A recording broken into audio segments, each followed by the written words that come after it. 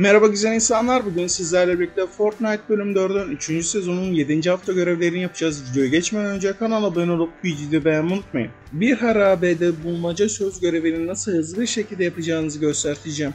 Haritanın tam bu noktasındaki karakterden kendimize mor item alacağız.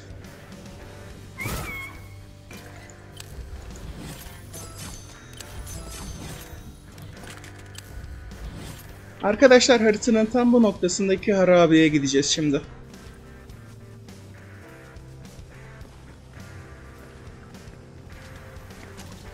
Şimdi arkadaşlar buranın girişini sizlere göstereceğim.